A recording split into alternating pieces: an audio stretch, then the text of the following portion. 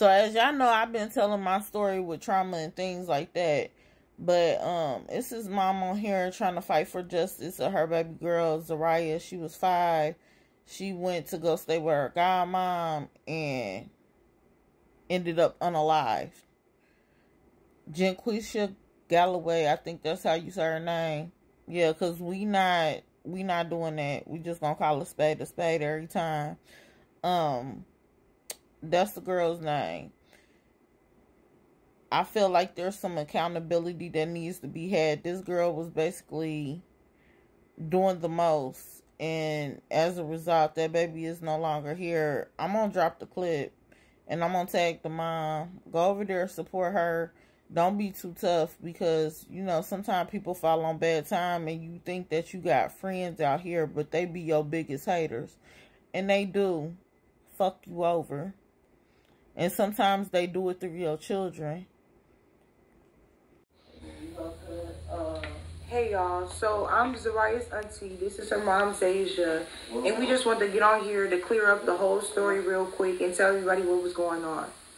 So, in about August, like the end of the summertime, Janquisha had been asking to get Zariah, because she was her godmom at the time, so she was asking to get Zariah, to take her on little outings and um, different events and stuff. So, it had started nearing, nearing the time for Zariah to go to school. So they both agreed that Zariah would go to Janquisha's custody so uh, she can get signed up for school and, you know, she could be staying there because she was in between placements. So they thought it was in the best interest of Zariah for her to go to Janquisha's house. So um, they went to court and when they went to court, they filed for Janquisha to get temporary custody, not full custody. She was only supposed to get temporary I'm gonna show y'all. So, hold on. I don't know how y'all can see. All right, can you shut it? We'll, we'll flip the camera. We'll show all the, the evidence and everything in another TikTok. So, we filed for her to get temporary custody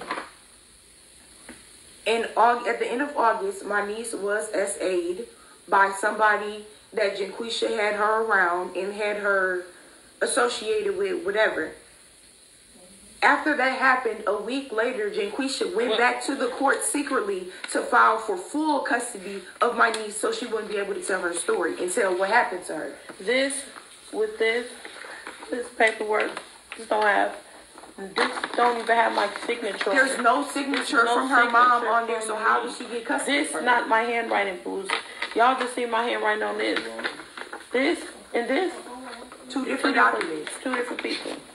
So after Janquisha filed for her to get full custody, I don't know, some way it was slipped through the cracks that Janquisha was allowed to put her own address for Zay's address.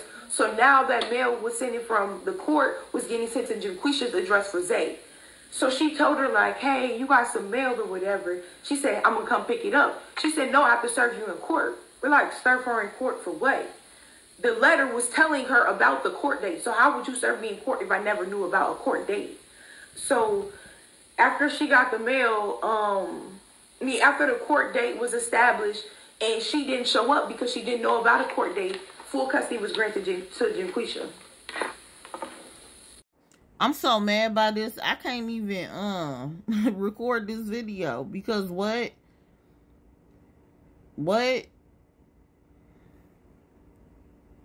My heart breaks for this woman because it wasn't even like she just left her kid with her friend and went to turn up on a Tuesday. She was literally going to get her stuff together literally going to get her stuff together. And this wasn't no random friend. This was her kid's godmom. And her friend asked for the asked for her daughter. But this just goes to show the same mind that controls those lips that wishes you well wishes also controls them them hands that are in the back.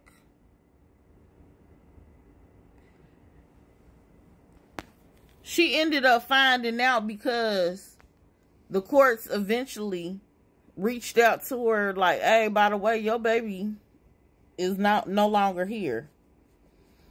So that whole time she was reaching out to her friend trying to get her baby back. Her baby was no longer here anymore. No longer here. This woman said that it was just too much to tell her.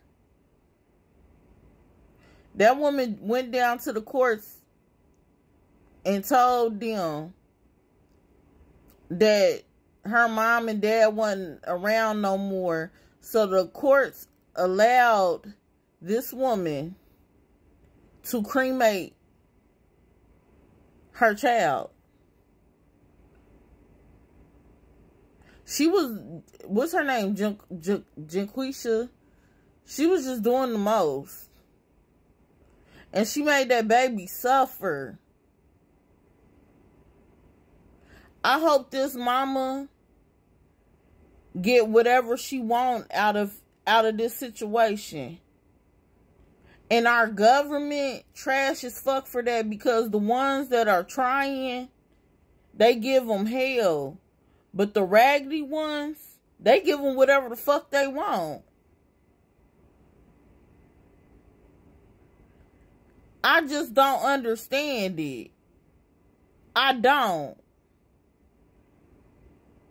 Cause that with that pain that that woman is going through, don't go over on her page on some negative stuff. I'm gonna tag her though. Sometimes people fall on hard times and they need a little bit of help. And she did, but that woman asked to keep her kid and she ain't see a problem with it because that was her child's godmama. Don't do too much on her. She already going through enough. Go over there, say some kind words, encouragement. She got a she got a tough battle ahead. Don't do too much on her. It's hard to be a mother.